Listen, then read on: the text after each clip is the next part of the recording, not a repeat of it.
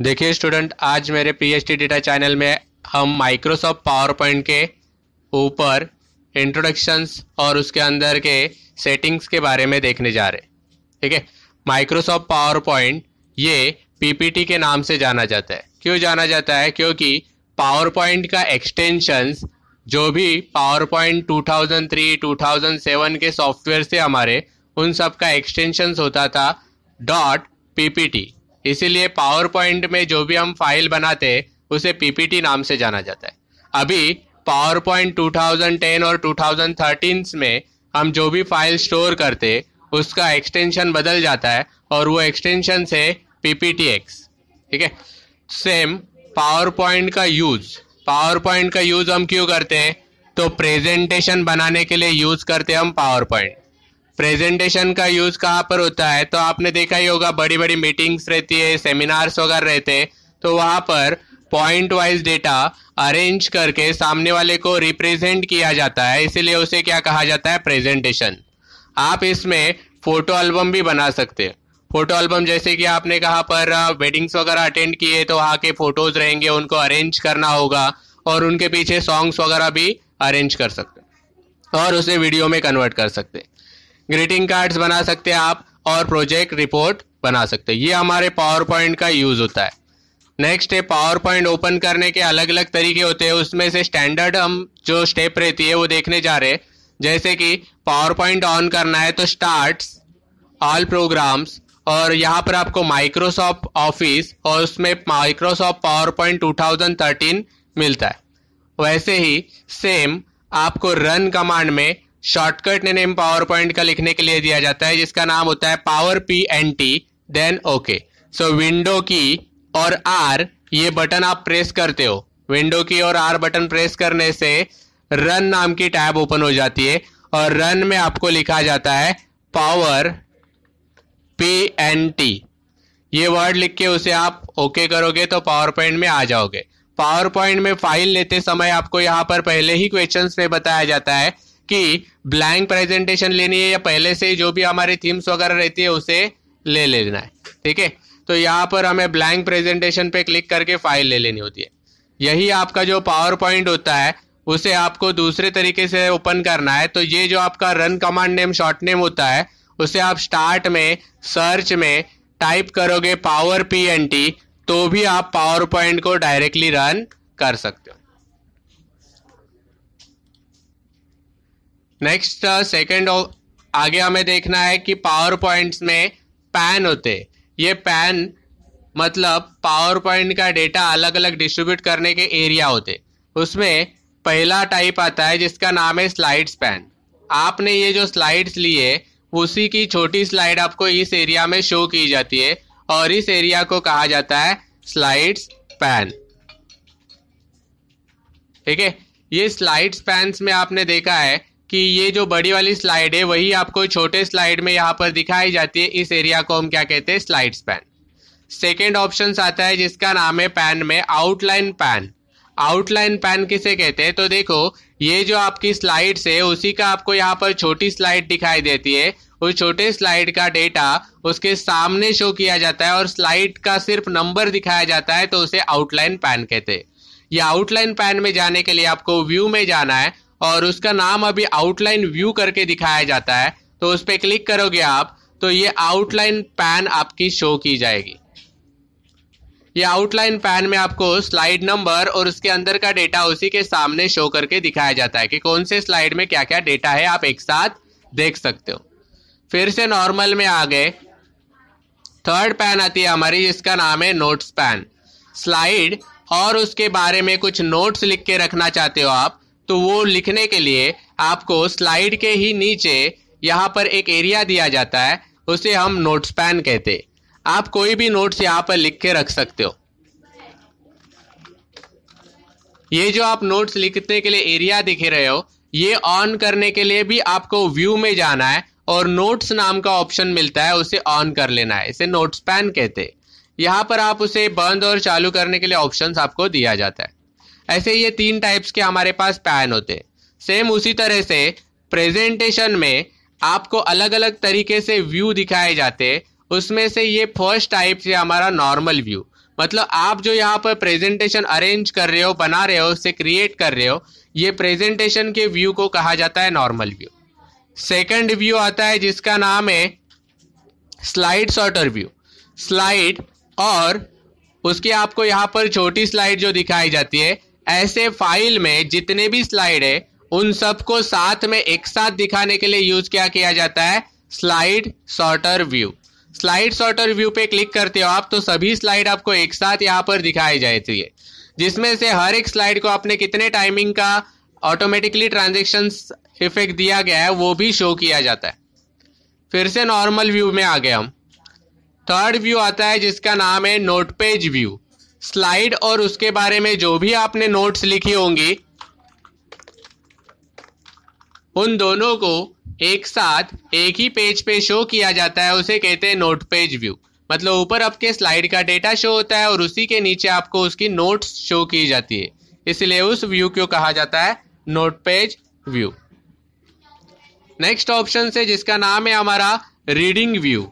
Reading view मतलब देखो, आपकी ये स्लाइड जो है आपने ये जो प्रेजेंटेशन बनाई है, इस प्रेजेंटेशन को रन करने के लिए मतलब प्ले करने के लिए यूज़ क्या होता है? रीडिंग व्यू रीडिंग व्यू पे क्लिक करने से आपको प्रेजेंटेशन का प्रीव्यू शो किया जाता है। ठीक है? आप ये प्रेजेंटेशन का प्रीव्यू देख सकते हो। यहाँ पर, हमने यहाँ पर इफेक्ट्स जो दिए वो शो होते हैं, लेकिन ये रीडिंग व्यू की वजह से आपको नीचे स्टेटस बार और ऊपर टाइटल बार शो होता है, और ये फुल स्क्रीन में प्रीव्यू शो नहीं किया जाता। आप प्रेजेंटेशन के व्यू को फुल स्क्रीन में मतलब स्लाइड शो में देखना चाहते हो तो रीडिंग व्यू में आने के बाद भी यहाँ पर लास्ट ऑप्शन होता है स्लाइड शो उसे क्लिक करके फुल स्क्रीन में प्रेजेंटेशन को रन कर सकते हो। इसी का मतलब होता है कि रीडिंग व्यू और स्लाइड शो हमारे प्रेजेंटेशन को प्ले करने के लिए हम यूज़ कर सकते वही आपको रीडिंग व्यू में जाना है, लेकिन डायरेक्टली स्लाइड शो ओपन करना रहेगा तो उसका शॉर्टकट बटन बटन आता है एफ़ फाइव फ़ंक्शन की में आपको एफ़ फाइव बटन प्रेस करना है, जिससे डायरेक्टली आप स्लाइड शो में पहुँच जाओगे। आपकी प्रेजेंटेशन को आप प्ले करके देख सकते हो यहाँ से। नेक्स्ट ऑप्शन आता है प्रेजेंटेशन के, ये सभी हमारे टाइप जैसे देखे हमने। वैसे प्रेजेंटेशन बनाने की आप स्टेप याद रखोगे तो कोई भी प्रेजेंटेशन आसानी से बना सकते हो। उसमें से पहली नोट से कि slide structure is called as slide layout मतलब स्लाइड में आप जो भी डेटा अरेंज करने वाले हो, उसे किस तरह से शो करना है, उसके आपको लेआउट अरेंज करके ले लेने। मतलब जहाँ पर फ़ोटो चाहिए रहते हैं डायग्राम चाहिए रहती है स्मार्ट आर्ट चाहिए रहते हैं जो इन्फॉर्मेशन चाहिए रहती है, उनके लिए सही तरीके का लेआउट आपको चॉइस कर लेना है। ये लेआउट चॉइस करने के लिए आपको होम में जाना होता है, और होम में आपको न्यू स्लाइड मिलती है। न्यू स्लाइड में आपको ये अलग अलग लेआउट की स्लाइड प्रोवाइड होती है। जैसे कि देखो यहाँ पर मैंने एक प्रेजेंटेशन स्टार्ट कर दी ग्लोबल वार्मिंग करके। उसमें सब टाइटल लिखा मैंने यहाँ पर इफेक्ट्स एंड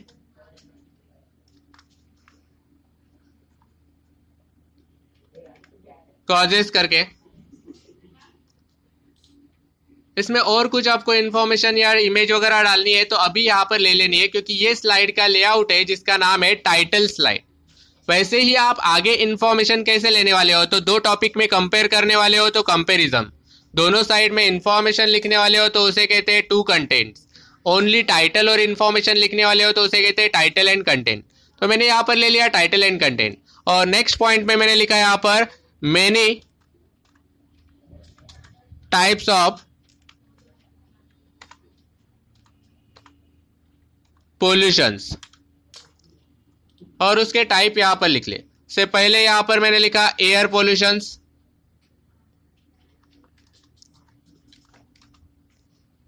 नेक्स्ट यहाँ पर लिखा मैंने यहाँ पर वाटर पोल्यूशंस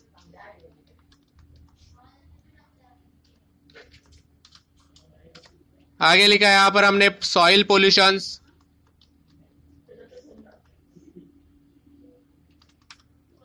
नेक्स्ट यहाँ पर लिखा हमने noise pollution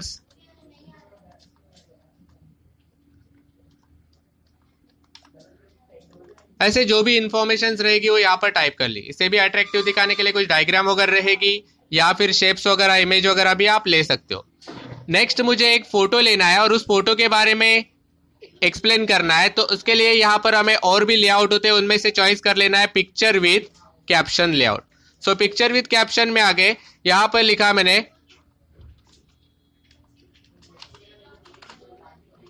pollution on earth करके।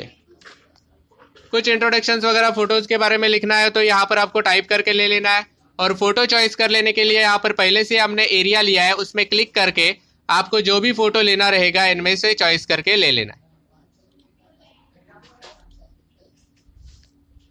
तो इस तरह से पहले जो एरिया डिसाइड किए जाते हैं, उन्हें लेआउट कहा जाता है। तो आपकी प्रेजेंटेशन अट्रैक्टिव और स्मार्ट दिखती है।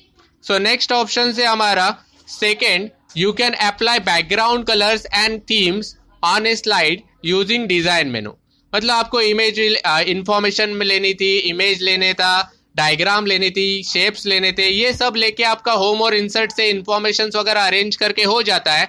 तो आपको सेकंड पॉइंट लेना है बैकग्राउंड कलर्स और थीम्स बैकग्राउंड कलर लेने के लिए या थीम्स देने के लिए आपको किसमें जाना है? तो फ़र्स्ट सिलेक्ट कर लेना है डिज़ाइन में जाना है. डिज़ाइन में यहाँ पर अलग अलग आपको थीम्स मिलती है. ये थीम्स आप हर एक को अलग अलग देना चाहते हो तो राइट क्लिक कर लेना है. अप्लाई टू सिलेक्टेड स्लाइड और सभी को एक ही थीम से अप्लाई करनी रहेगी तो अप्लाई टू ऑल स्लाइड यहाँ पर मैंने फ़र्स्ट स्लाइड को दे दिया अप्लाई टू सिलेक्टेड स्लाइड से कलर तो इस तरह से ये थीम से यहाँ पर अप्लाई हो जाती है। सेकंड स्लाइड को सिलेक्ट कर लिया, इसे कौन सा कलर्स वगैरह चेंज करके देना रहेगा? तो यहाँ पर इसमें मैंने कलर्स ले लिया, ये वाला। इसमें भी right click apply to selected slide colour apply हो जाता है। लेकिन ये जो थीम्स हमने लिए उसमें भी कलर चेंजेस कराने रहेंगे तो उसके वेरिएंट आपको साइड में ही प्रोवाइड होते हैं। इसमें से आप कौन सा वेरिएंट कलर शो कराना चाहते हो, इनमें से ले सकते हो। इनके अलावा जाना चाहते हो किसी ऑप्शंस में तो यहाँ पर मोर ऑप्शंस पे क्लिक करके आप कोई भी कलर्स उसमें अप्लाई कर सकते। तो ऐसे यहाँ पर हमने थीम्स कलर्स भी किस तरह से देते हो देखा है। सेम वैसे ही आपको थीम कलर्स नहीं देने तो बैकग्राउंड कलर देना रहेगा सेम तो फॉर्मेट बैकग्राउंड्स में जाना है, उसमें सॉलिड फील मतलब सिंगल कलर देने के लिए आपको ऑप्शन प्रोवाइड होता है। डबल कलर देना रहेगा तो ग्रेडियंट फ़ील्ड में जाना है और इनमें से जो भी मल्टीपल कलर चाहिए रहेगा वो आप दे सकते हो। फ़ोटो वगैरह पीछे बैकग्राउंड में अप्लाई करना है तो पिक्चर्स में जाना है या फिर टेक्सचर्स पैटर्न्स आप यहाँ से कोई भी ले सकते हो।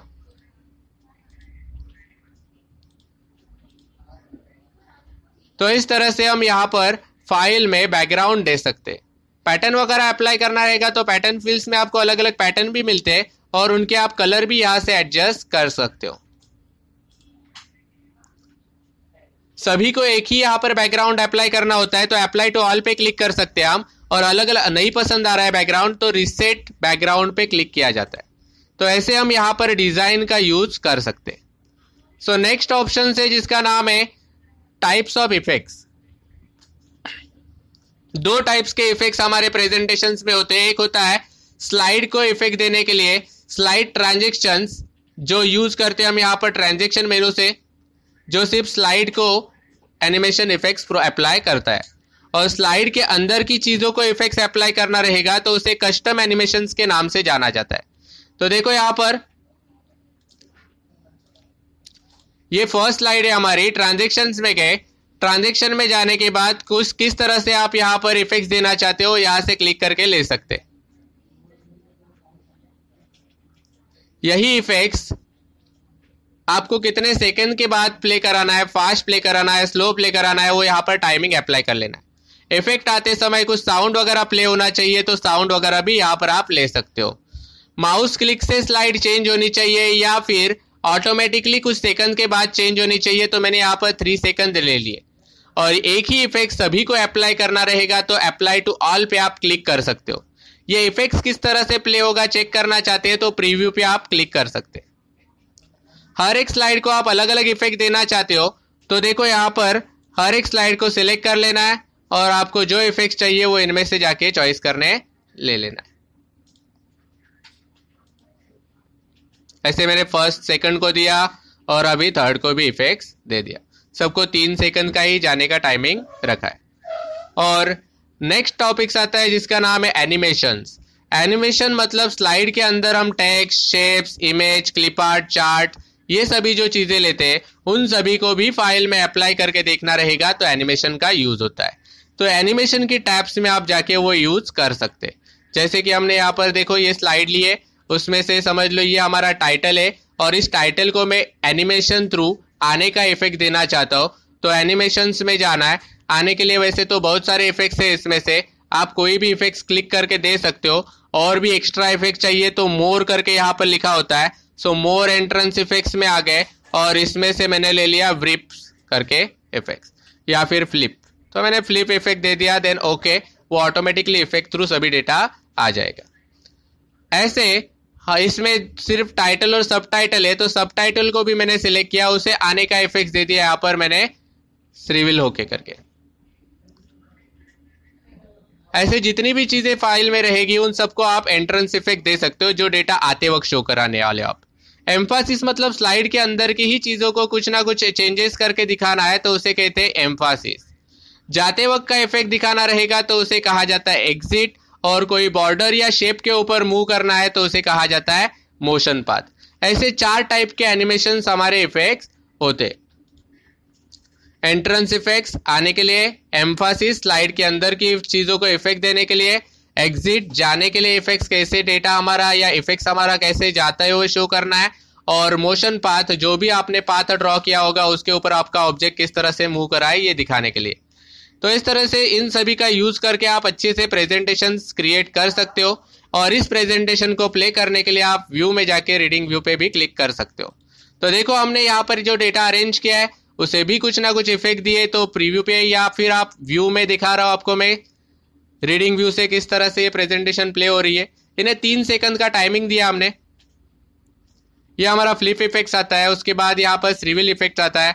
और हमने आगे के डेटा को इफ़ेक्ट नहीं दिया है लेकिन ट्रांजेक्शन इफ़ेक्ट दिए जो तीन सेकंड में हमें चेंज करके दिए जाते हैं। तो ये हमारा पीएचडी डेटा में हमने पावर पॉइंट का पहला वीडियो क्रिएट किया है। आप सभी ने अभी तक मेरा चैनल सब्सक्राइब नहीं किया है तो सब्सक्राइब कीजिए लाइक कीजिए कमेंट कीजिए। धन्यवाद। मिलते हैं नेक्स्ट वीडियो में।